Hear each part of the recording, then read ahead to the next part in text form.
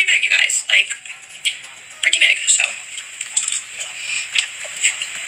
Com a facilidade das pessoas terem mais suplementos vitamínicos disponíveis no mercado, muito mais barato, as pessoas estão utilizando aí para fazer aquela ajuda na hora de complementar a dieta. E tá tudo bem isso. Ainda mais porque os alimentos hoje em dia não têm tantos nutrientes como no passado, né? Porque eles foram processados ou teve agrotóxicos ou qualquer outro tipo de substância que a gente ainda não conhece. Então as pessoas acabam mesmo preferindo, até nutricionistas ou médicos, receitando uma suplementação multivitamínica para dar mais força. Só que o principal problema quando a pessoa acaba tomando esse suplemento é quando ela toma totalmente jejum e não come nada depois. O que pode acontecer quando a gente toma suplementos de forma incorreta?